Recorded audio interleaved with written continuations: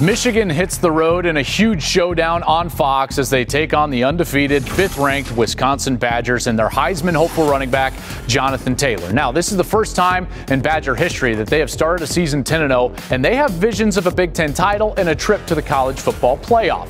Taylor is only 401 yards from breaking the single season FBS freshman record set by Adrian Peterson in 2004. While the Badger D, they're not too shabby either. They're the number one total defense in the country after holding Iowa to just 66 total yards last week.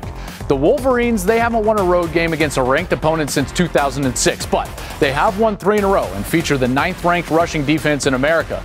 Brandon Peters, the redshirt freshman quarterback, has shown some serious promise, but the Wolverines will need to get healthy in the backfield as their top two rushers, Ty Isaac and Karan Higdon, have been banged up recently. It will be a cold and rugged game in Camp Randall, but I cannot wait to get there and call it with Gus Johnson and Jenny Taft. In USC versus UCLA, we get Sam Darnold versus Josh Rosen, two future NFL quarterbacks going at it.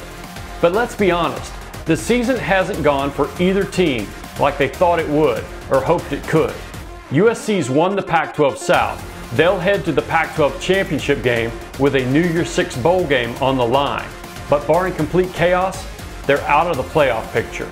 Meanwhile, UCLA needs to win one of its last two games just to get to a bowl game. And it remains an open question whether that would be enough to keep Jim Mora Jr. around. So the stakes in this crosstown rivalry remain high. But even if it was only Darnold versus Rosen, we'd all want to watch. Miami's matchup with Virginia is considered one of the best games of the weekend, which should tell you all you really need to know about this weekend of college football. Here are two things to keep an eye on for the Hurricanes, however. Number one is, will they get caught looking ahead? I know they've got Clemson in a few weeks. They can't afford to look past Virginia, even if the Cavaliers have been reeling.